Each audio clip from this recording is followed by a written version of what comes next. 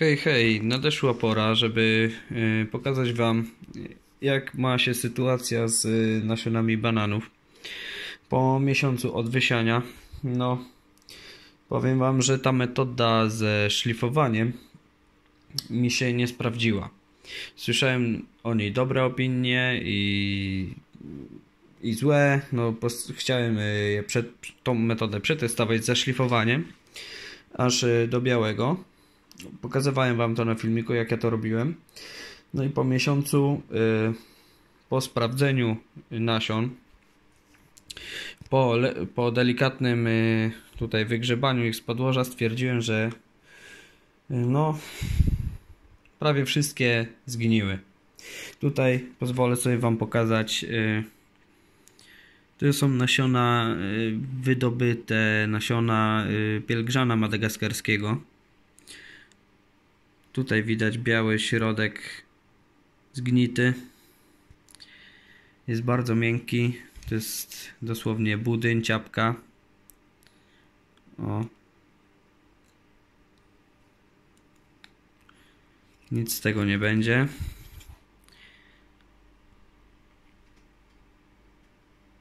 Tutaj jest następne nasiono i zaczęły pleśnieć w miejscu e, szlifowania.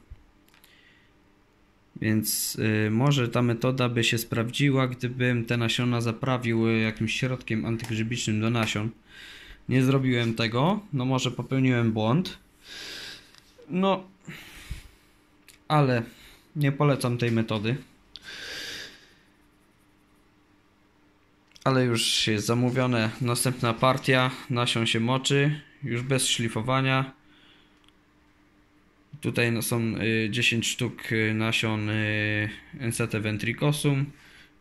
Jak widać już to one już się moczą jeden dzień, jedno nadal pływa nasiono, ono jest y, tak podejrzewam, że jest całkowicie puste. Także nasion y, takich względnie do kiełkowania będzie 9. Tutaj strylicja biała dzisiaj zalana. I pielgrzym madagaskarski, zobaczcie jak zabarwił wodę. Tą wodę zaraz wymienię, żeby była biała. Znaczy biała, przezroczysta. Wodę będę wymieniał u tych nasion, które barwią wodę. Żeby była świeża. Ale nie ma tego złego, co by na dobre nie wyszło. Tutaj za wszystkich nasion wykiełkował mi jedynie pielgrzym madagaskarski jedna sztuka. Bardzo się z tego cieszę. I jeden NCT ventricosum. Idzie biały kiełek. Sprawdziłem go delikatnie, jest twardy, czyli na pewno nie gnije. Tak specjalnie go odsłoniłem, żeby Wam pokazać. Troszkę go jeszcze przy, przyklepię, żeby miał yy, wilgoć. No i tak się sprawy mają. E, Tutaj Musa Interans, Musa Czuni. No, to wszystko pogniło. Może spróbuję wygrzebać jeszcze jedno nasiono NCT ventricosum, żeby wam pokazać. Spróbuję wam pokazać e, to, jak to gnije. W jaki sposób. Może coś tu będzie widać.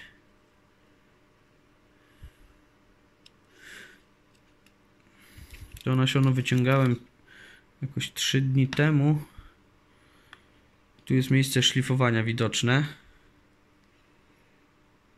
Muszę położyć.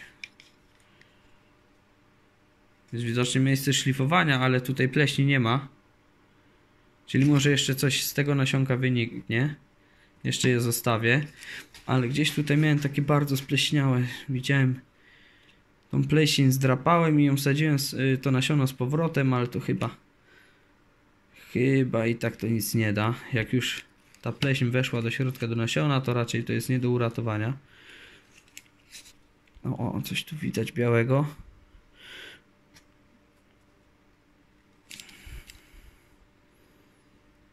Czy to jest miękkie?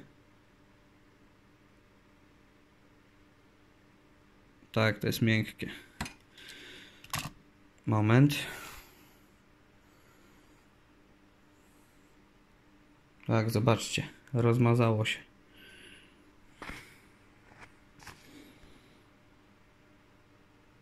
To się rozmazało. I to nasiono już na pewno jest zgnite. Już i tak mogę spis spisać to na straty. No, poczekam jeszcze tak e, z 2-3 dni. Powyciągam te nasiona, które nie, nie, nie wykiełkowały. Podłoże wyciągnę.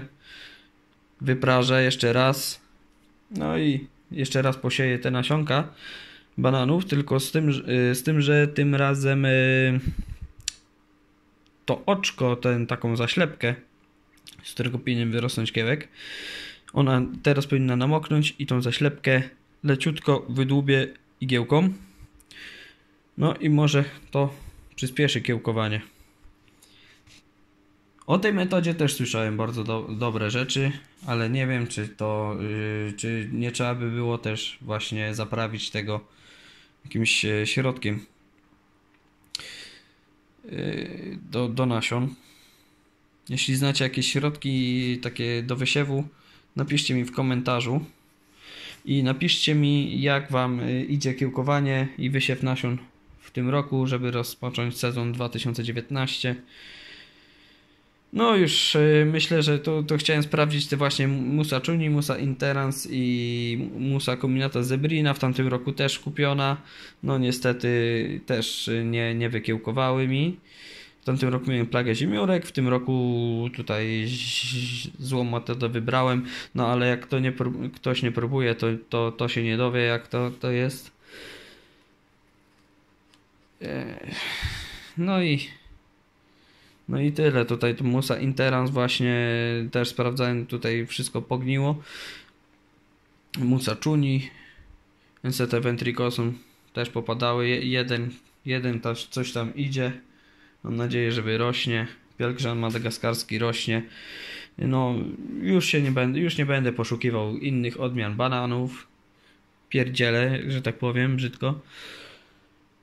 Ale NCT Ventricosum, zarówno zielonym, jak i yy, Maureli.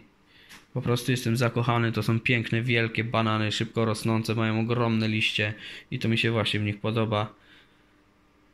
Więc skupię się na nich. Więc tutaj będzie jeden. Mam nadzieję, że chociaż ze, ze dwa z tych tutaj wyrosną.